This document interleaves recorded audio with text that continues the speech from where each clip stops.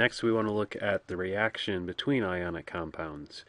And the type of reaction is called a metathesis reaction or a double displacement reaction.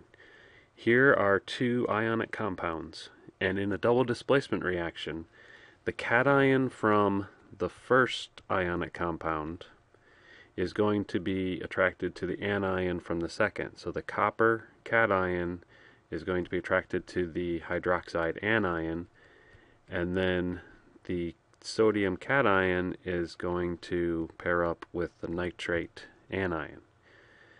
When you're determining the products of these double displacement reactions, the most important thing to remember is the subscripts from the original formula do not get carried along unless they are part of a polyatomic. So for example, in this case, I'm going to take the copper cation, and I know that this copper on the reactant side is the positive 2 copper cation because it was paired up with two nitrates. I'm going to take that copper 2 plus and pair it up with the hydroxide, which is a negative 1 anion. And so if I determine the formula, this product is copper 2 hydroxide, one copper cation for every two hydroxide anions. I'm going to do the same sort of thing with the other product. I'm going to take the sodium cation,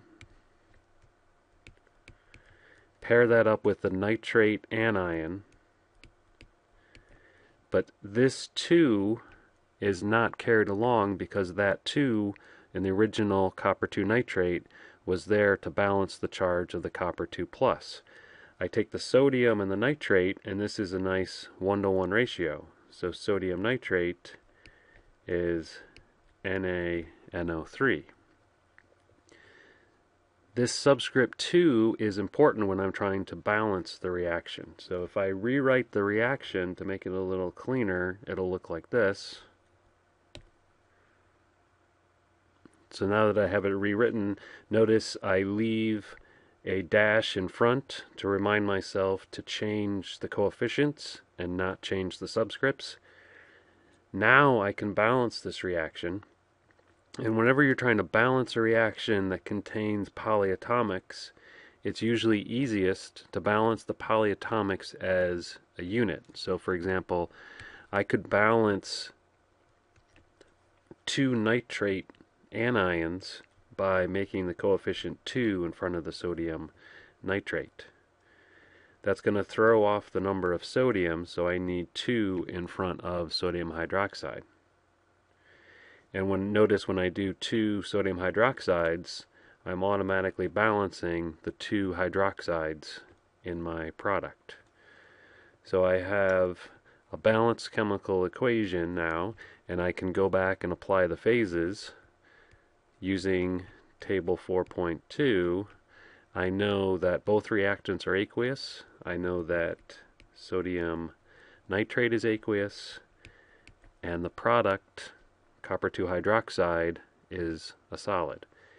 When you have aqueous reacting with aqueous, and if you make a solid, that solid is called a precipitate. So this is a double displacement reaction. It can also be classified as a precipitation reaction.